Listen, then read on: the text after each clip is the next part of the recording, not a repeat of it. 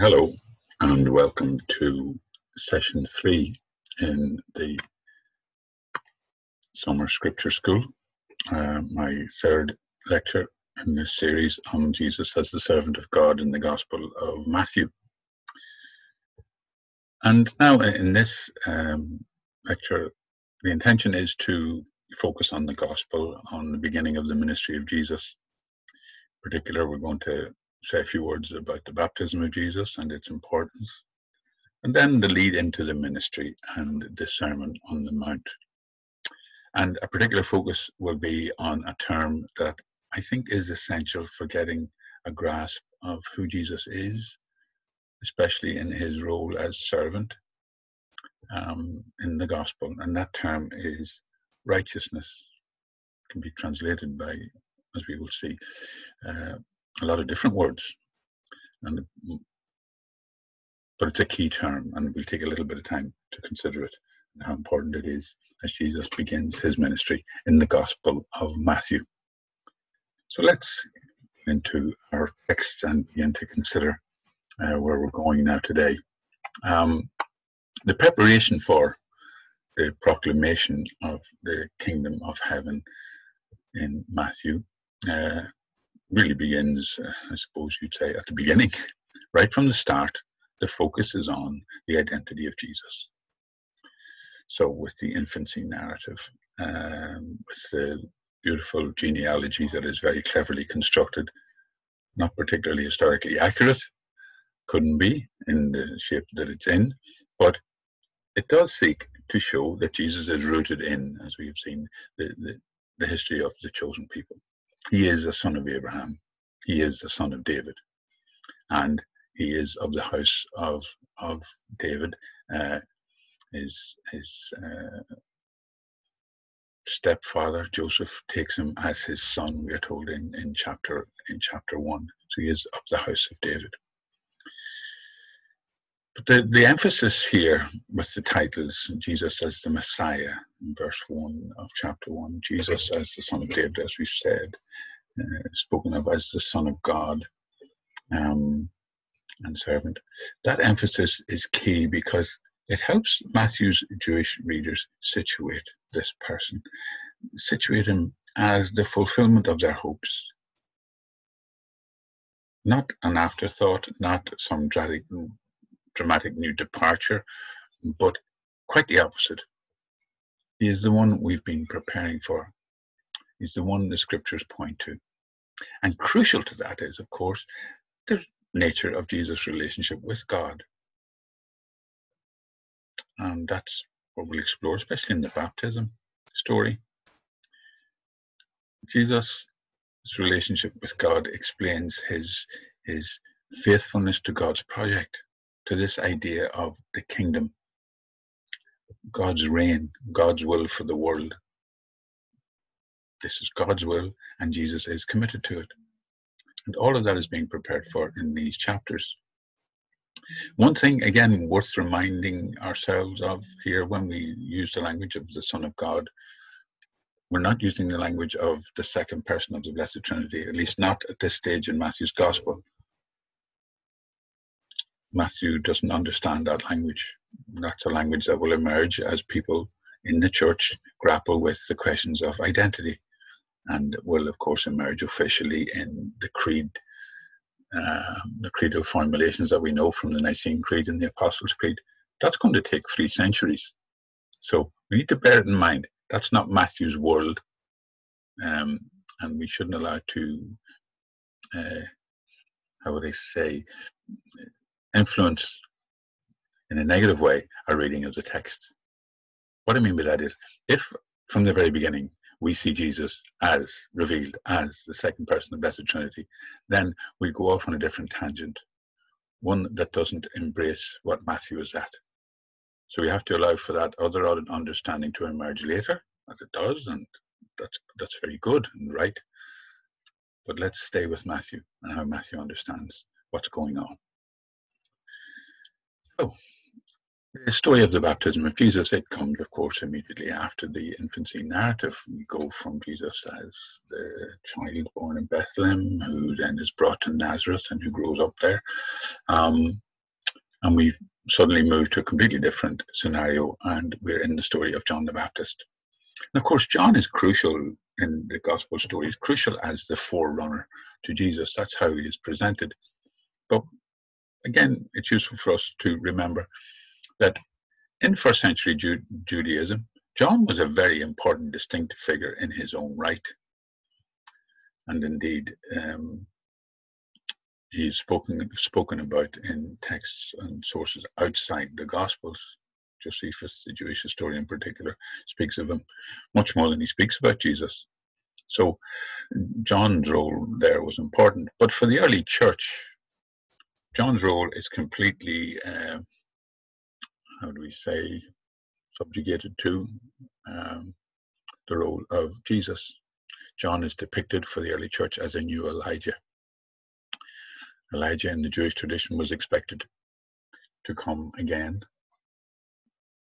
because in the Old Testament story, as we know, Elijah was taken up into heaven in a fiery chariot. He didn't die, which was very unusual, uh, especially in the Old Testament. He disappeared into the heavens, and the question then arose around those texts was, well, what's what, what happened?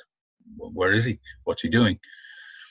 And the tradition arose, well, he's there because he's going to come back when it's the time of the Messiah. So there were traditions around that. And John the Baptist then is seen as a new Elijah. And that's shown by the way he is depicted in the Gospels. His strange clothing and his strange diet echoes the behavior of Elijah in the books of in the book of Kings.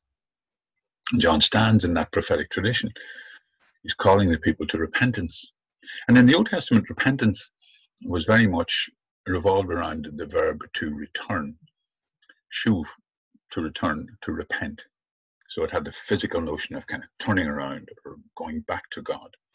In the New Testament, however, the language, which of course is the language of the New Testament is, is in Greek, um, and the word that uh, expresses repentance is metanoia. And that is a different concept. It doesn't involve the idea of turning around or, or, or, or, or movement. It rather has the idea of a change of mindset, of uh, seeing differently. And that change of mindset, that seeing differently, then would lead to a change of behavior. And so John is depicted here in uh, chapter 3 as in the line of the prophets, in the line of um, Elijah and Isaiah, indeed. He's calling the people to repentance, and the people are coming out The people are responding to the urgency of his message, to the, the drama that he presents. And it's interesting that when they come to him, especially the people who will feature in the ministry of Jesus, the Pharisees and the Sadducees, who are Jesus' opponents, John is immediately here uh, in conflict with them, warning them. And warning them, interestingly, that they shouldn't be relying on the notion that we have Abraham as, as our ancestor and therefore we're saved. John says to them, God can raise up children of Abraham from these stones. So the idea of being in relationship with God has nothing to do with ethnicity. It's nothing to do with where you're from. It's to do with where your heart is and your response to God's call. Hence the need for this repentance. See differently. Um, and of course, he speaks then about the one who's coming and who will baptize with the Holy Spirit. Then Jesus um, comes along, and we have this very unusual incident where um, John is shocked that Jesus would seek baptism from him. He says, I need to be baptized by you. And yet you come to me. But Jesus answered, Let it be so now, for it is proper for us in this way to fulfill all righteousness. Then John consented, and Jesus is baptized. So that crucial phrase, fulfill all righteousness, is very important for giving us an insight into what is unfolding in the gospel, the fulfillment of all righteousness. Righteousness is a key term in the Old Testament um, in terms of describing an attribute of, of Yahweh, the covenant God of Israel. God acts in the Old Testament out of a sense of his own tzedakah, is the Hebrew word tzedakah. And it's this tzedakah that God has that makes God want to save his people. It's this tzedakah that makes him want to free the Israelite slaves in Egypt, who that wants him to, to uh, bring that people to himself, to form them, to guide them, to lead them. So it's a key covenant attribute of Yahweh, the God of Israel. And we're going to return to that in, in the slide after next, um, because it's it's crucial that we understand righteousness as a as a base from which um, both Jesus operates and the, the the call that he's offering to his disciples. But before that, we just think about the, the, what immediately follows. Jesus is baptized, and we have this dramatic moment. God speaks. God speaks with this simple sentence in Matthew 3:17. This is my son, the beloved, with whom I am well pleased. And there, with one simple sentence, the evangelist links Jesus' identity to key uh, Old Testament figures, linked right into the story of the covenant. So, for example, in Psalm 2, we celebrate, or God celebrates, uh, the king, the, the Judean kings who are the descendants of David. In Psalm 2, God speaks to the king and says, You are my son, son of David, my anointed one. Then in the book of Genesis, Abraham has longed for a son. His son is Isaac. And then God calls Abraham in chapter 22 and tells him to take his son Take your son, your beloved son, and go to the mountain, and I will show you. So now Jesus is spoken of by God as my son, my beloved son. And that very um, poignant moment links what's going to happen to Jesus because in the Jewish tradition, Isaac was willing to be sacrificed they reflected long and hard on the story of Genesis 22 in the Jewish tradition, and they saw Isaac as being a willing partner. Jesus, in his relationship to the Father, will be willing to be offered. He will go to the cross for the sake of the reign of God. So here, a link is being made uh, with Jesus and his his connectedness to the Jewish story, the story of the people of Israel. And also, of course, then in uh, the servant song in Isaiah that we've already alluded to, there God speaks of the servant, describing as my chosen one in whom I delight, in whom I am well pleased. So now we have in this opening moment, before Jesus' ministry gets underway, the voice of God declares Jesus' identity, ties him to the story of God's faithfulness uh, in the scriptures.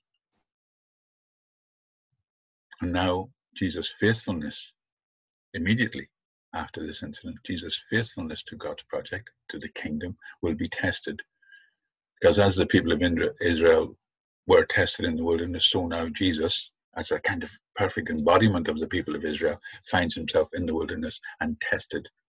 Tested not to go the way of the covenant, tested to seek other options. In fact, in the last talk of this series, I, I I come back to the idea of what those temptations really mean because I think they give us a wonderful insight and can help us understand the notion of servanthood and how we can participate in that as disciples. Well, we'll return to that uh, in the last lecture.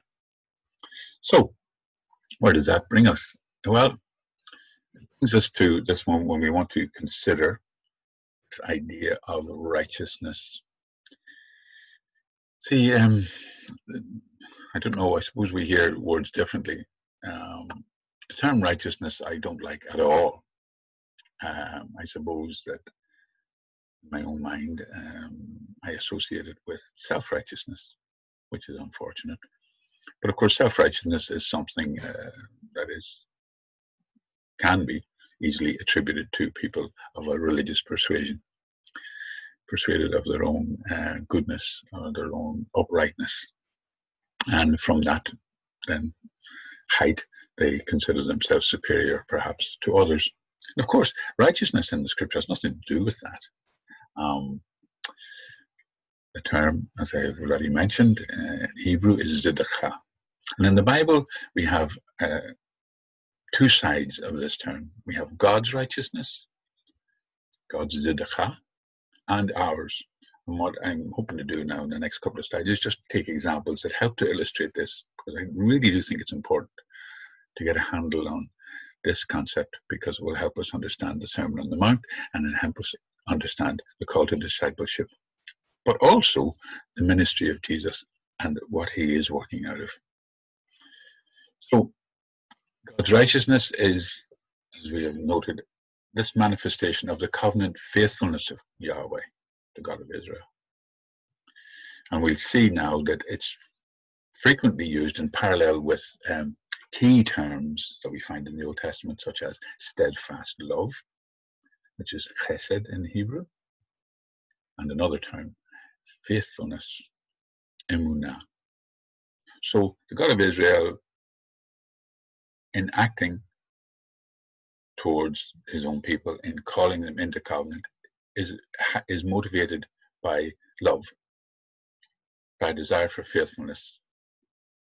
There's no um, other agenda. There's no um, attempt to to say that uh, this idea of righteousness is can be measured in human terms, uh, as for example, it's sometimes called translated by justice. Look at it that way. The term is sometimes translated with the word justice, but the justice of God does not relate to human courts or human law. The justice of God derives from God's sense of who God is and what God wants. And that's beyond our understanding in terms of love and mercy and reaching out to broken humanity. Now, the other side of that then is clearly found in the Old Testament also that human righteousness, human beings, when called into relationship with God, with God, are expected then to to respond, to have a sense of who God is, and to respond then with the appropriate action. Moral action that reflects our relationship with this God. Now, the difficulty for us from a semantic point of view is highlighted when we consider the term tzedakah. Uh, in the New Testament, then is translated in the Greek with the Greek word dikaiosune, righteousness. And we know that's a very important term for Paul. Now, Paul's using it slightly differently from Matthew. We don't need to go into that here, but um, but it's interesting to note that in in the Bible, especially in the Old Testament, if you were to go through all the occurrences of the term zedekah in Hebrew, you would find texts in various texts that the term is actually translated differently. So I did a quick sweep uh, through uh, Old Testament uh, texts that use the word zedekah, and there's what I discovered that the same word zedekah is translated, depending on the context, by saving deeds, righteousness, which is probably the most common one and the one that we see most often in the new Revised Standard Version. That's a translation many people are using nowadays. And so that's that's a common translation, but not always. We don't always translate it the same way. So it's translated with righteousness, but also with vindication, God's vindication. God's justice, that's the preferred translation that you find in the New Jerusalem Bible, uh, which is used in our in the Catholic liturgy. It is also sometimes translated by the term victory, God's victory, uh, uh, also salvation and deliverance. So, and those aren't all the possible translations. There are other ones, but I, I give those as a kind of a flavor to see what what we're dealing with here. This term is crucial, but it's it's not easily defined. It's an attribute of God. It's about the grace of God. It's about God's activity on our behalf. Um, that's crucial that we, we get a handle on it. So if we look at some Old Testament texts that might illustrate that for us, um, here's some texts in, in the prophets where um, uh, the where do we see now? Oh no, we don't want to do that. We go back. Where? Let me see. Can I move that picture so that no, won't go. yeah, there we go. No, we'll ignore that. I just want the, the screen to be clear. But the text as it stands, shower, O heavens, from above, and let the skies rain down justice. Let the earth open, that salvation may sprout, sprout up, and let it cause righteousness to sprout up also. For I, the Lord, have created it. So here we have in Isaiah 45 this, this uh, outpouring from God of a gift, and that the skies rain down, using the word justice, mishpat, but then also saying, let the whole creation earth open up, that salvation may sprout up, and let it cause righteousness. So what we have there is a kind of a parallelism. Salvation, God's desire for our well-being, is also expressed by the term tzedakah. God wants that to spread up. He wants it to be uh, part and parcel of our experience. God has created this. Also, then in the next chapter in Isaiah, I bring near my justice, my righteousness. It is not far off, and my salvation. There, the, the term is twinned again with the idea of salvation. It will not tarry. I will put salvation in Zion for Israel, my glory. And then another example here from Jeremiah, their text. Thus says the Lord, let those who boast boast in this, that they understand and know me, that I am the Lord, that in other words, that I am Yahweh. I act with steadfast love, justice, and righteousness in the earth, for in these things I delight. So this is who God is. God is Tzaddik. God is the righteous one. God acts with righteousness. It's an expression of his love. His love, his mercy, his desire to save. We find it in, in the Psalms, similarly. Psalm 36 Your steadfast love, O Lord, extends to the heavens, your faithfulness to the clouds. So they're chesed and emunah as I mentioned. Your justice or your righteousness is like the mighty mountains. Your judgments are like the deep. You save humans and animals alike. So it is an expression of the way God works all the time in his creation. And in Psalm 40, the psalmist has had experience of this. And he says, the psalmist shares this prayer, and he says, I have not hidden your saving help is how it's translated in some uh, examples, Psalm 40. I haven't hidden your saving help or your justice, your righteousness within my heart. No, I have spoken of your faithfulness and your salvation. I have not concealed your steadfast love and your faithfulness from the great congregation. So I hope these texts are, are getting across the point of how this righteousness term, this idea, is an expression of who God is, what God wants in terms of grace, the goodness of God, the desire of God for our salvation, our well being, that we might know ourselves loved. And that, in turn, of course, evokes a response from human beings, and we get that also in the Psalms. So here uh, we have Psalm um, Psalm 112, and this is a good text for, for considering this. Um, yeah. It's not going. We'll stay where we are. So praise the Lord.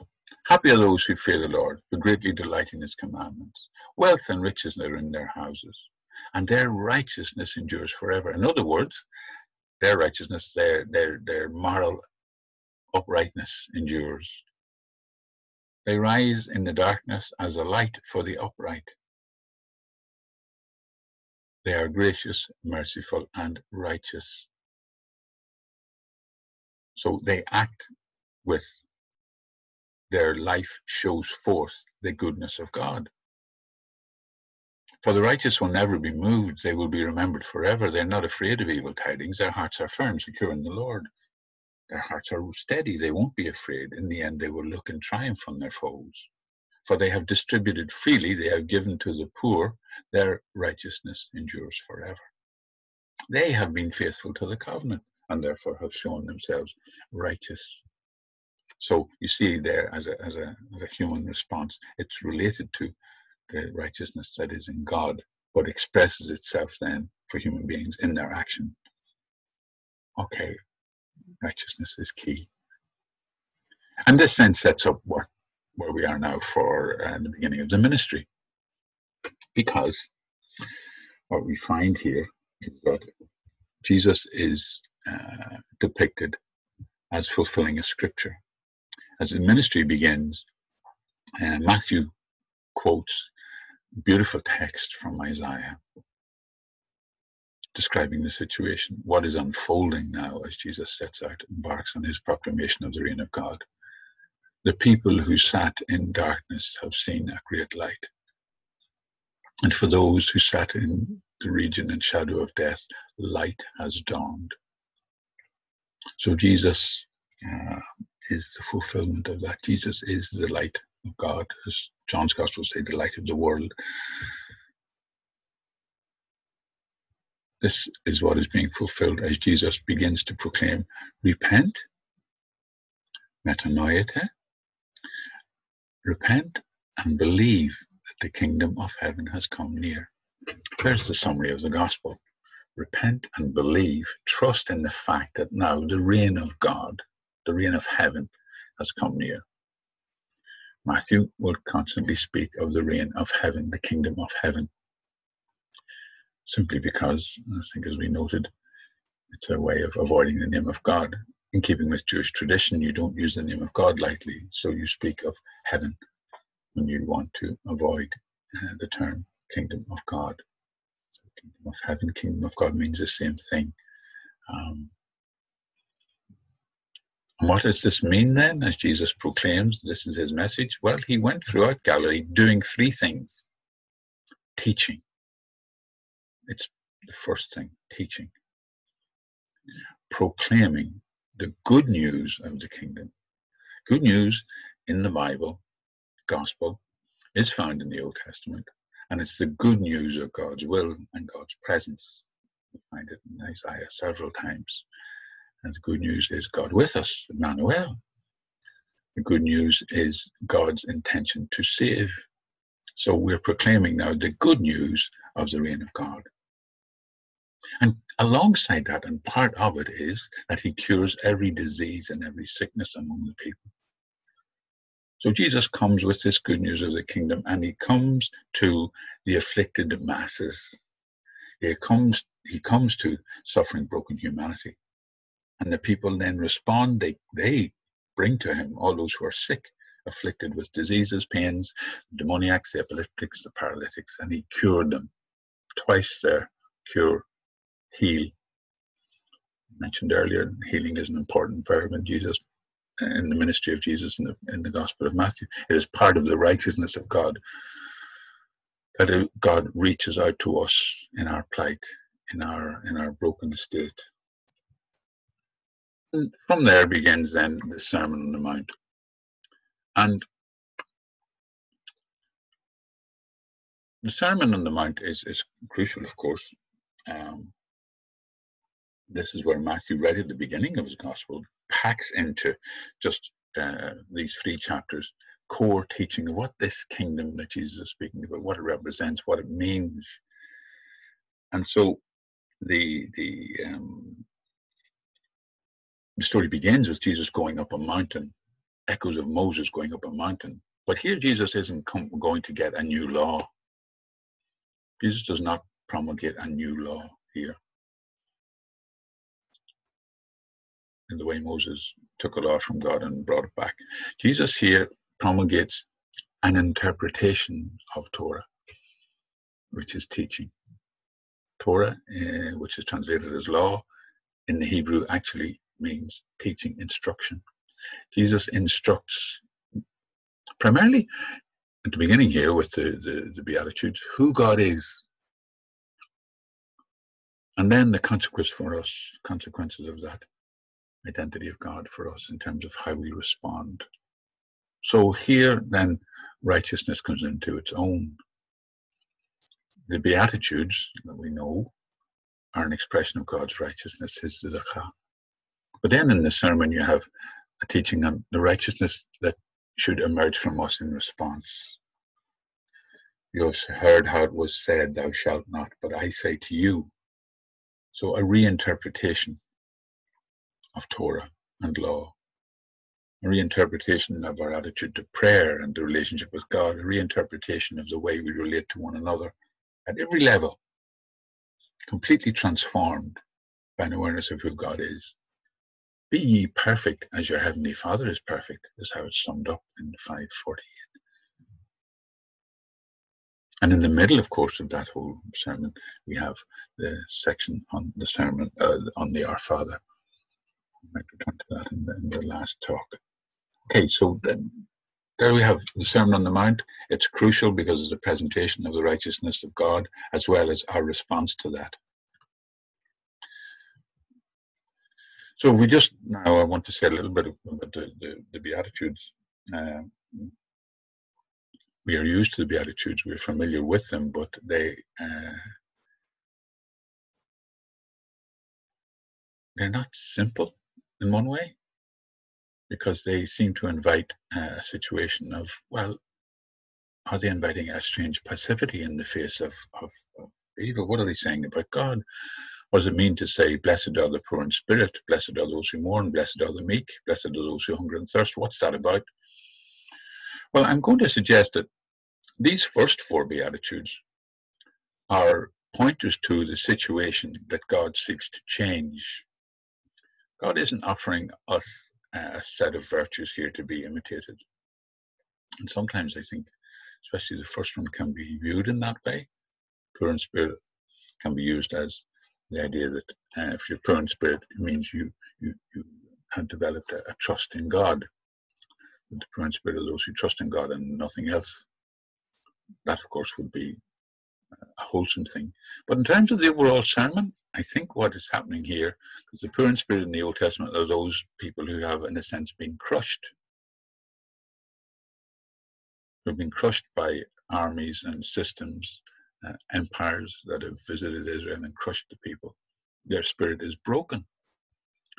And ironically, here the evangelist is telling us, Jesus is telling us, in the kingdom, they are the blessed ones because God cares about them. God cares about those who mourn, who mourn at the state of the world and the mess it's in, who are not happy that it should be so because they know it's not what God wants. Blessed then too are the meek, those who have been let's say, walked over, who've been on the receiving end. Blessed are they, because God will grant them what has been taken from them. And blessed are those who hunger and thirst for tzedakah. The tzedakah that is proper to God, that is the expression of who God really is, the expression of God's love, God's mercy, God's justice. They will be filled. And the second four Beatitudes and speak to um, those of us who are called to work for the kingdom are blessed because we um, seek to bring about the, the reversal of the situation outlined in the first four. So, blessed are the merciful, for it is the mercy of God in us and working human beings that will bring about transformation that will put an end to oppression. Because mercy is rooted in compassion. It's the same idea. Blessed are the pure in heart, those who are single minded in their devotion to God and what God wants. Blessed are the peacemakers. Peacemakers, not peacekeepers, peacemakers, those who work for the shalom that God offers. That is harmony and wholeness. Blessed are those then who are persecuted for righteousness' sake, those who pursue the righteousness of God, that is proper to God, work for God's compassion, concern for the poor and the oppressed and the marginalized. Theirs is the kingdom.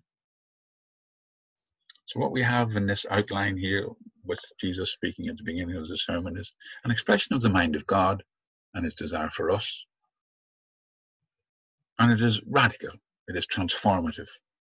And it is at odds, absolutely, with so much um, of our own cultural, economic, political, even religious practice. It turns the world's values on its head. So, what's going on here? We'll just finish with this. Going on here is that with the sermon, Jesus, as I mentioned earlier, he's not simply a new Moses, but rather with the authority that belongs to him as God's Son, as explained earlier. He imparts in the sermon a new and a definitive interpretation of Torah. What God wants, what God offers and expects. So everything that Jesus commands or requires here derives from a distinct theological vision of who God is. And this sermon and its content and its demands can only make sense in the light of that vision. A vision that rests on the character or nature of God as revealed by Jesus. If we took the sermon on its own and divorced it from the ministry of Jesus and all the things that Jesus did, it would might just be an impossible dream. But when we link it to what he did and how he reached out to people, then it begins to make sense. The righteous, those who live by righteousness, are those who long for the coming of the kingdom, a kingdom revealed in the ministry of Jesus, who long for the vindication of right that will come with it, God's order, and who, on the basis of this hope and this longing, actively do God's will now. That's the righteousness that is proper to uh, the Sermon on the Mount and to the life of a disciple. We'll continue with our reflection on the ministry of Jesus, in particular, how these kingdom words in the Sermon on the Mount then become expressed in kingdom deeds in what immediately follows. And that'll be the content of our next our next lecture. Thank you for being with me today.